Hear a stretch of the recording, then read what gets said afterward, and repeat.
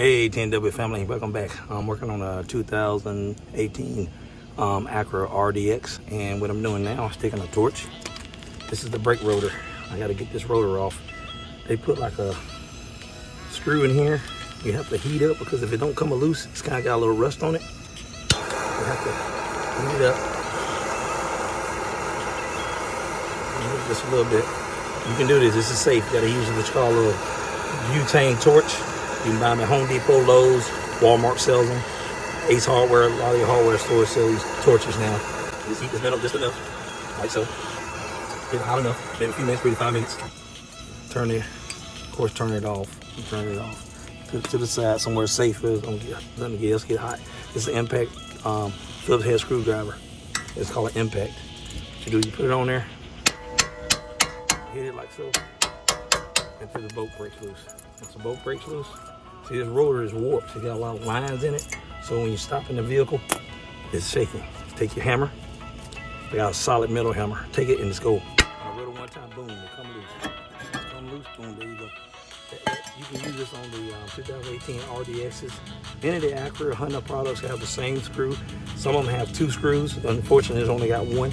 And you can use the same method. Um, a torch I recommend because it's rust and heat and water get in there sometimes. You know, you use this bear and knock on it, you can break your head on your impact. So you best to heat it up at least about three to five minutes. Get enough heat. Once you do that, you see the application. It should come off. Once you take it off, you put your new rotor on. Uh, hold on, I'm gonna go ahead and show you how to put the new rotor on. Hey guys, anytime you're changing out rotors, take the old part and just measure it up like so. Put both together, measure them up. It like it fits. Find the right hole that you need. Like on this application, this hole right here is the right one. Boom, voila. And you take your screw, put up to the hole like so. Take your Phillips head screwdriver. Punch it right into place. Voila, voila. Once you do that, you can take your uh, caliper, caliper bracket and caliper. These are these, by the way, these are 19 millimeters that you would need, 19 millimeter half inch um, to get these off. You Just screw them back in like so. All right, I'm just screwing them back in by hand. Once you get them in my hand, I'm using a half inch, 19 millimeter.